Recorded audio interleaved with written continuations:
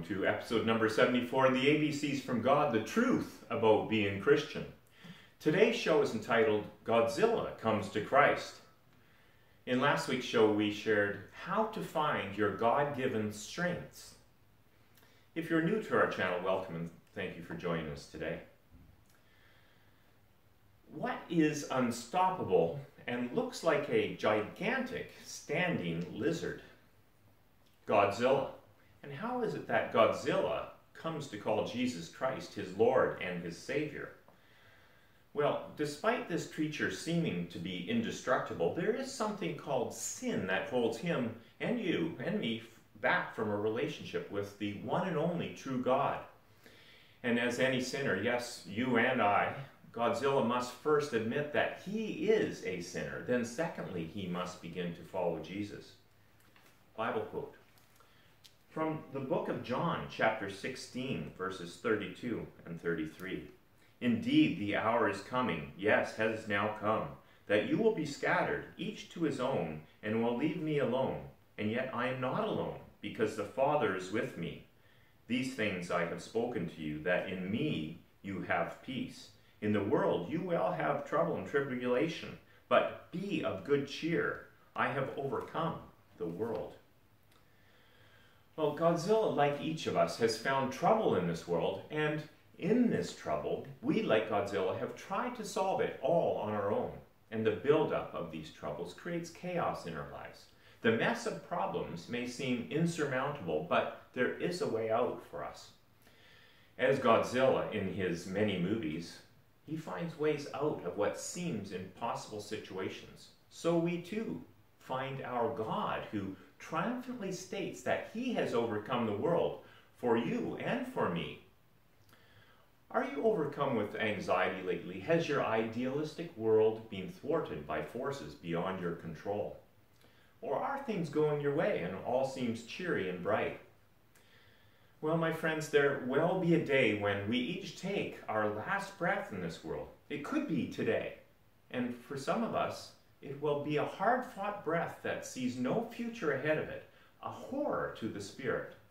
While for others, that last breath of air will be to a new beginning, that is, with our conquering God, the one and only Jesus Christ, who persevered, like Godzilla, to his last breath. And what did he persevere in? Well, in carrying out a mission that seemed impossible, yet he and only he was able to carry it out. Here, listen to his last words. Again, from the book of John, chapter 19, verse 30. So when Jesus had received the sour wine, he said, It is finished. And bowing his head, he gave up his spirit. Well, have you lived like a Godzilla in this world so far? Plowing through everything, every problem and everyone in your way, getting what you want in this world without the thought of the next one, the eternal world. It is time this Easter holiday weekend to come to understand what this yearly 2,000 year old celebration is all about. Yes, of course, it is about God's loving grace freely given to us. And it is about the last breath of air. It is about a new breath of life eternal life. When the man named Jesus Christ died a sacrificial death for all mankind on the cross, and then he rose from the dead, conquering your sin and my sin for all time. If we but turn from that sin, forsake it, and then turn our life over to God for good. Now, our life really begins in this world and the next. Let's pray. Ah, dear Father, despite the awful torment, the mental, physical, and spiritual torment that you, the Spirit, and your Son Jesus went through on the cross 2,000 years ago, we celebrate this Easter weekend for what you did for us, conquering death.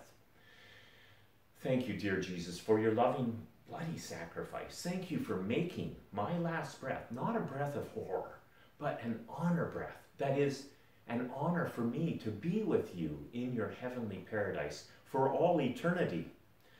Until that breath, Lord, we, your saints, shall persevere in sharing your law, your grace filled love, and your light in the darkness of this world.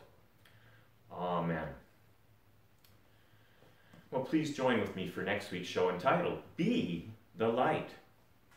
If you enjoyed this show, please now hit the pause button and help support the show by smacking the like and the subscribe buttons. As well, share the show with someone who you think would benefit or enjoy it. For those of you who are currently without a church group, please feel free to go to my description and listen to a weekly sermon from the Richmond Alliance Church. We also recommend our brothers down south, Alistair Begg at Truth for Life, and John MacArthur at Grace to You. Well, if you've just come to Jesus Christ or have been following him for a while, begin or keep up your daily habit of reading the Holy Bible. Be part of a Bible based church and join with my friends and I in sharing God's truths, His ABCs, about being Christian. God bless.